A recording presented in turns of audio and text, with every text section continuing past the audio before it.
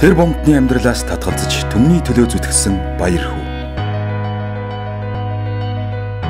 Тэрээр төмөр төшийн 7 хүүхдийн 5 дахь нь болж шуун фабрикт төрсөн бөгөөд 10 нас хүрэх үед аав нь таавар төгсжээ.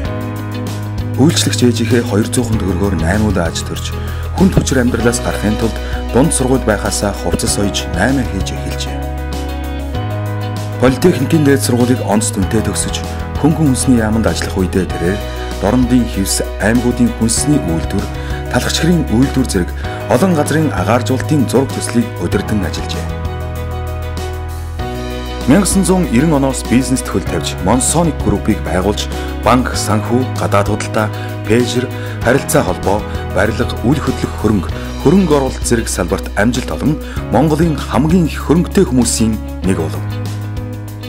1990-ад оны дунд үед Монгол улсын засгийн газар 50 сая ам долларын зээл хөөцөлддөг байхад Баяр хүү 300 сая долларын хөрөнгө оруулалт эх орондоо оруулахаар хэлэлцээр хийдэг байлаа. 2006 оноос эхлэн тэрээр зах зээлийн нийгэм буюу цалингаараа амьдрын хөдөлгөөнийг санаачилж баг хувийн хүүтэйгээр орон сууцнд орох төслийг санаачилсан нь Монголын төрөөс даруй 7 жилээр төрүүлт сэтгсэн явдал байлаа. Гэвч дэлхийн мөнгө санхүүгийн систем түүнээс үүдэх аюулыг олж харсан эдийн засгийн ухааны доктор Баярхүү тэр мөнгөний амьдралаас татгалзаж тэмцлийн замыг сонгосон юм.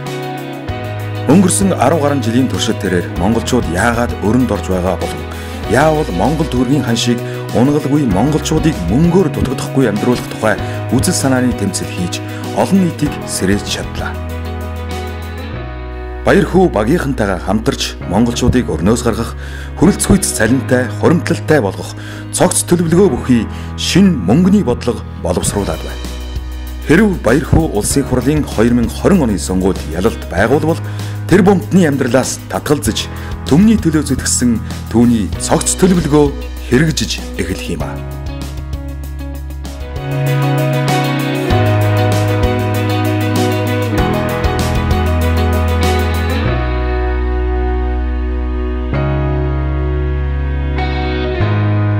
Тэр бомтны амьдралаас татгалзаж төмний төлөө зүтгсэн баяр хүү.